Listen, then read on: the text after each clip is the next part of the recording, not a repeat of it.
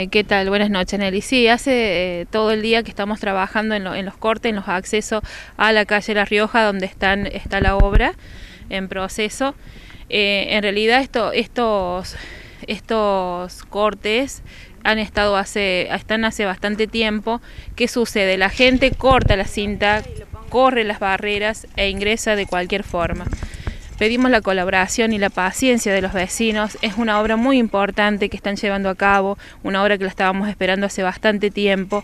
Eh, va a llevar un tiempo más para culminar con esta obra. Es pedirle la paciencia para que no ingresen y corran las barreras y eh, corran todas las medidas de seguridad que estamos colocando para que no, no corra ningún riesgo ¿no? la, la gente. Aparte no tiene salida. ¿En qué lugar está cortado totalmente? ¿O desde dónde hasta dónde no se puede transitar por calle La Rioja? Desde la calle Chile hasta la Tucumán, la calle Rioja no, no está transitable. Están todos los accesos hacia la calle La Rioja, están todos cortados. Tenemos tierra colocada y eh, tenemos barreras, tenemos cinta de, de seguridad y también colocamos conos. Bien, ¿qué pasa con los vecinos, con los frentistas a calle La Rioja?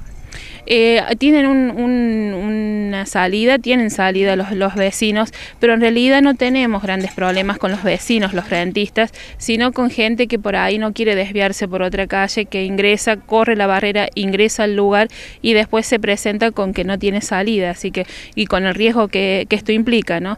Así que bueno, necesitamos de la colaboración de los vecinos que nos apoyen esto y que tome conciencia de que, de lo que, del peligro que implica ingresar a esta calle. Bien. ¿Por cuánto tiempo la van a tener en estas condiciones? Eh, precisamente yo no sé, eh, obras puede dar precisar cuánto va a llevar eh, esta obra. Están trabajando permanentemente, yo creo que no, no va a haber mucho tiempo, no va a pasar mucho tiempo, pero bueno, es una obra muy importante, la necesitábamos, así que bueno, a tener un poquito de paciencia.